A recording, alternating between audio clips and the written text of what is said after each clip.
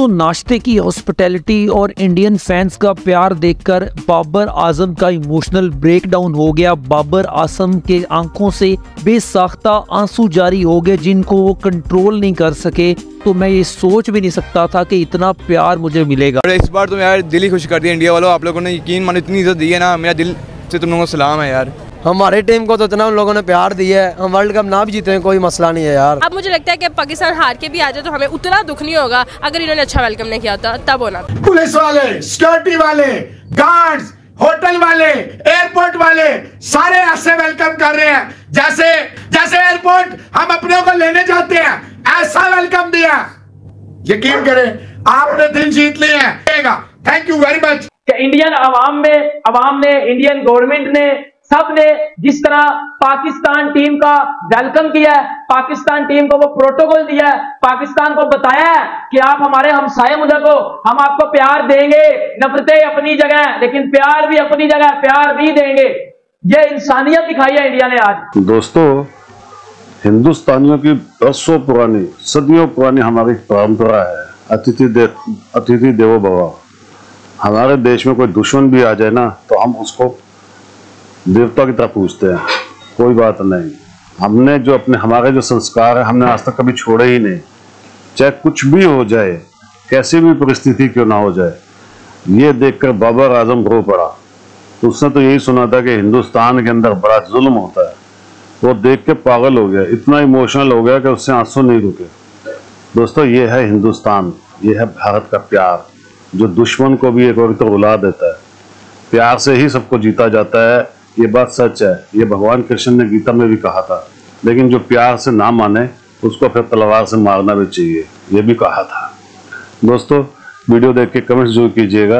Video को like कर लीजिएगा और चैनल को प्लीज़ सब्सक्राइब ज़रूर कर लीजिएगा। थैंक यू वेरी मच तो नाश्ते की हॉस्पिटैलिटी और इंडियन फैंस का प्यार देखकर बाबर आज़म का इमोशनल ब्रेकडाउन हो गया। बाबर आज़म के आँखों से बेसाख्ता आँसू जारी हो गए, जिनको वो कंट्रोल नहीं कर सके। नाश्ते की टेबल से निकलते ही बाबर आज़म की आँखों से आँसू आते हैं। दोस्तों, जब वहाँ पर खड़े होटल स्टाफ ने पूछा कि आपको क्या हुआ है, सर, हमारी तरफ़ से कोई तकलीफ़ हुई है आपको या क्या वजह है जो आप इतना गुस्सा कर गए हैं? तो बाबर आज़म मुस्कुराए और कहा कि, मैं गुस्सा नहीं कर गया हूँ। मैं सोच भी नहीं सकता था कि जब से मैंने क्रिकेट स्टार्ट किया था कि मैं भारत कभी आऊँगा और अगर मैं आया हूँ तो मैं ये सोच भी नहीं सकता था कि इतना प्यार मुझे मिलेगा। इस बार तो यार दिल ही खुश कर दिया इंडिया वालों। आप लोगों ने यकीन मानो इतनी इज़्ज़त दी है ना मेरा दिल से तुम लोगों को सलाम है यार। मौका मिलेगा तो बताएँगे कितना प्यार करते हैं इंडिया से सनम। हमारी टीम को तो इतना उन लोगों ने प्यार दिया है हम वर्ल्ड कप ना भी जीते हैं कोई मसला नहीं है यार। कोई मसला नहीं है कोई मसला है। खैर है कुछ नहीं होता। क्या होगा हार जाएँगे और क्या होना है? पहले भी इतनी बार हारे हैं ना? हैदराबाद के इंडिया में हमारे जो है वो टीम बस में बैठने लगी तो हमने बाबर आज़म के नारे जो है वो सुने कि जी किस तरह से इंडियंस बाबर आज़म के नारे लगा रहे हैं। उस वक्त आई गोट गुस्म के जब बाबर आज़म वहाँ पे उतरे हैं ठीक है? लोग बाबर आज़म के और शहीन के नारे लगा रहे थे। मैं तो हैरान रह गया ये देखकर। उन्होंने इतना प्यार दिया। थैंक यू इंडिया वालों। बाबर के नारे लग रहे थे। मोहम्मद हारिस के साथ लोग सेल्फियाँ लेने के लिए बेताब बैठे हुए थे। मोहम्मद रिजवान के साथ इतना लव किया गया। शाहीन को वो जितना लव करते हैं वो आज हमने देखा है यार। कोई प्रोटोकॉल वो मिल गया। मैच हार भी जाए ना मेरी तरफ़ से ना मुझे कोई घंटा फ़र्क नहीं पड़ने वाला इनको देख के। अब एक दिल की खुशी होती है कि इंडिया वाले वालों ने हमें इतनी दे दी है इज़्ज़त दे दी है। अब मुझे लगता है कि पाकिस्तान हार के भी आ जाए तो हमें उतना दुख नहीं होगा। अगर इन्होंने अच्छा वेलकम नहीं किया होता तब होना। तो भगवान का अवतार होते हैं। भगवान का दूसरा रूप होते हैं। ये आपने इंडिया वालों आज साबित कर दिया। जिस तरह एयरपोर्ट पे मैच छोड़े, इतने थके हुए थे। लेकिन जिस तरह का आपने वेलकम कर दिया माय गॉड माय गॉड दिल खुश कर दिया। Thank you very much India thank you very much Hyderabad. Thank you very much biryani के बाबर ने 10 आउट ऑफ़ 10 होटल के मैनेजर ने कहा 10 out of ten for biryani by Babar जहाज़ उड़ा जहाज़ दुबई पहुँचा जहाज़ मुंबई की फिजाओं में इंडिया में पहुँचा जहाज़ इंडिया हैदराबाद में पहुँचा और उसके बाद आप लोगों का प्यार पहुँचा तो लाइक कीजिए ऐसा होता है वेलकम ये हमारा कल्चर है ये सब कॉन्टिनेंट में कैसे मेहमानों को वेलकम किया जाता है कैसे सरों में बिठाया जाता है India Hyderabad very very well done hats off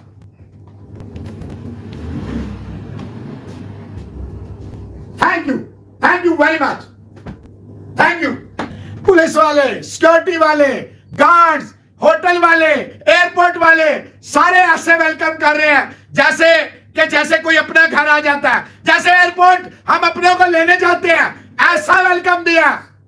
यकीन करें, आपने दिल जीत लिए हैं। थैंक यू वेरी मच आज आपने सारी दुनिया में हिंदुस्तान का नाम रोशन कर दिया। आप यकीन करें कि दिल से दुआ दे रहा हूँ। अल्लाह ताला आप लोगों को बहुत तरक्की दे। अजय इंडिया में पाकिस्तान टीम जब लैंड कर गई है, हैदराबाद में।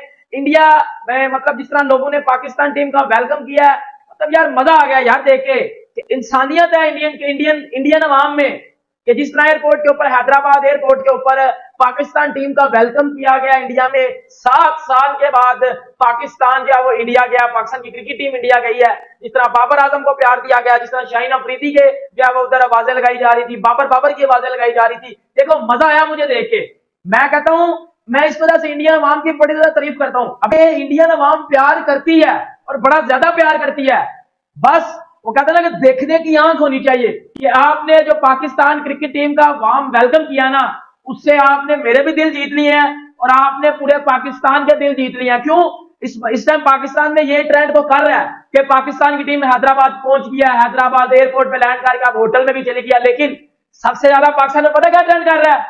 कि इंडियन अवाम में अवाम ने इंडियन गवर्नमेंट ने सबने जिस तरह पाकिस्तान टीम का वेलकम किया है, पाकिस्तान टीम को वो प्रोटोकॉल दिया है, पाकिस्तान को बताया है कि आप हमारे हमसाए मुल्क हो, हम आपको प्यार देंगे, नफरतें अपनी जगह है, लेकिन प्यार भी अपनी जगह है, प्यार भी देंगे। ये इंसानियत दिखाई है इंडिया ने आज। मतलब यार मज़ा आ गया है, और बड़ा, मैं कहता हूँ कि एक बड़ा पॉजिटिव मैसेज गया है पाकिस्तान में। हर किस्म का प्रोटोकॉल दिया गया जितना इंडिया दे सकता था मतलब अगर आप 100 परसेंट कर रहे हो ना तो इंडिया ने 200 परसेंट करने की कोशिश किया this is the beauty of India Pakistani team उन्होंने फूलों के साथ वेलकम किया है एक्स्ट्रा ऑर्डनरी वेलकम हुआ है। कैसा लग रहा है आपको? यार हमें तो बहुत खुशी हो रही मैं तो चाहता था मैं भी साथ जाता। मुझे भी वेलकम करते और मुझे खुशी होती मैं खुशी में और बर्तन मार्केट को सबको खाना खिलाता। इंडियन से तो बड़ा वो इख्तलाफ था इतनी मोहब्बत एक बार सोशल मीडिया पर तो दिखाया जाता है आपस में लड़ते पाकिस्तानी बहुत है। यार लड़ते नहीं है ये सब फेक है। ये पागल लोग ऐसे करते हैं। हम पागल थोड़ी हैं यार। इंडिया हमसे प्यार करता हम इंडिया से करते हैं बस। ये बात है।